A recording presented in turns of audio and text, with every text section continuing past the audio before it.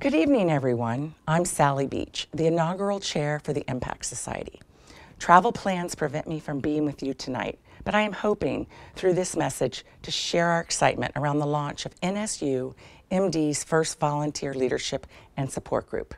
We are hoping to create mutually beneficial relationships between the students and the community. As we all know, being an MD requires a tremendous amount of work, dedication, and discipline. What it also requires is a solid support system.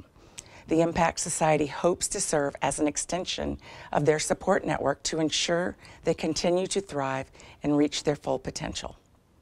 We plan to organize a diverse array of activities and events that will enrich our students' medical school journey.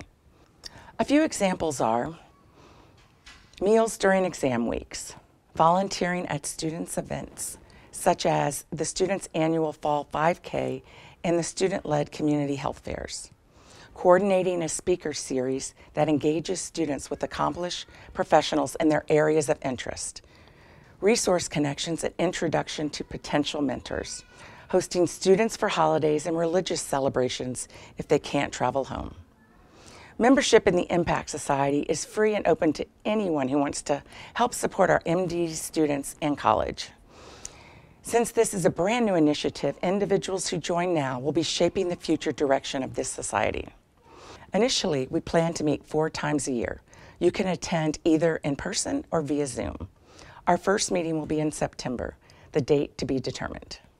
If you're interested in becoming an Impact Society member, please scan the QR code on your table and enter your contact information. There are also sign-up sheets around the room.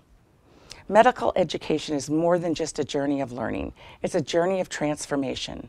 By supporting our students, you can play a valuable role in this transformative process, enhancing the health and well-being of all of us in the process. I look forward to getting to know many of you personally. Enjoy your evening.